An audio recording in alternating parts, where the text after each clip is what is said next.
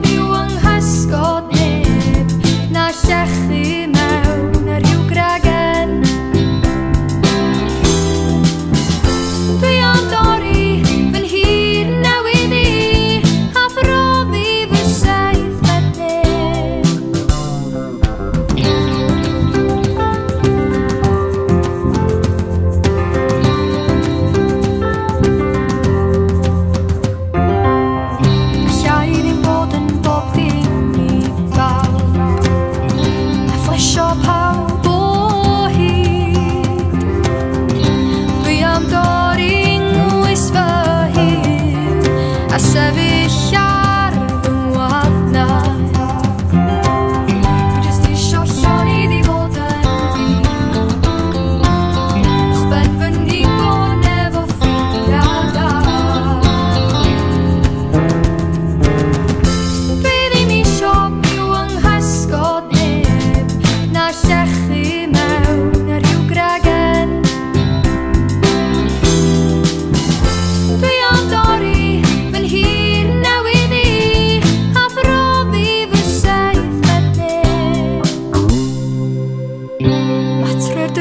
goroesi'r grain A dwi ddim isio bod draed Ddim am gadw'n halon yn fysgidia Ond byw yn fy amser da